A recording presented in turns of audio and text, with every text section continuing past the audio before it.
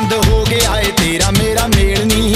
ਤੈਨੂੰ ਤੇਰੇ ਘਰ ਵਿੱਚ ਹੋ ਗਈ ਜੇਲ ਨਹੀਂ ਭੇਦ ਖੁੱਲ ਗਿਆ ਤੇਰੇ ਮੇਰੇ ਪਿਆਰ ਦਾ ਨਹੀਂ ਲੋਕੀ ਕਹਿੰਦੇ ਬਿਨਾ ਕੰਮ ਤੋਂ ਮੁੰਡਾ ਫਿਰਦਾ ਗਲੀ 'ਚ ਗੇੜੇ ਮਾਰਦਾ ਨਹੀਂ ਲੋਕੀ ਕਹਿੰਦੇ ਬਿਨਾ ਕੰਮ ਤੋਂ ਮੁੰਡਾ ਫਿਰਦਾ ਗਲੀ 'ਚ ਗੇੜੇ ਮਾਰ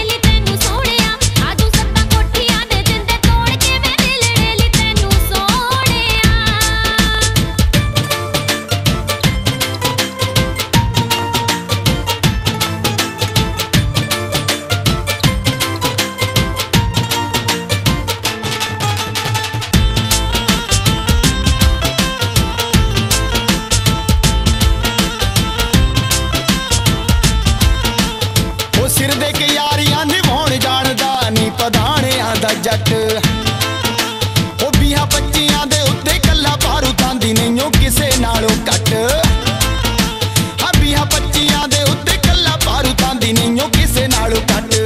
ਫਿਰਦੇ ਹੰਕਾਰੇ ਨਹੀਂ ਦਿਖਾ ਦਾਂਦੇ ਨੇ ਤਾਰੇ। ਉਹ ਜਿਹੜੇ ਫਿਰਦੇ ਹੰਕਾਰੇ ਨਹੀਂ ਦਿਖਾ ਦਾਂਦੇ ਨੇ ਤਾਰੇ, ਹੋਵੇ ਜੇ ਹੁਕਮ ਸਰਕਾਰ ਦਾ ਨਹੀਂ ਲੋਕੀ ਕਹਿੰਦੇ ਬਿਨਾ ਕੰਮ ਤੋਂ ਮੁੰਡਾ ਫਿਰਦਾ ਗਲੀ 'ਚ ਗੇੜੇ ਮਾਰਦਾ ਨਹੀਂ ਲੋਕੀ ਕਹਿੰਦੇ ਬਿਨਾ ਕੰਮ ਤੋਂ ਮੁੰਡਾ ਫਿਰਦਾ ਗਲੀ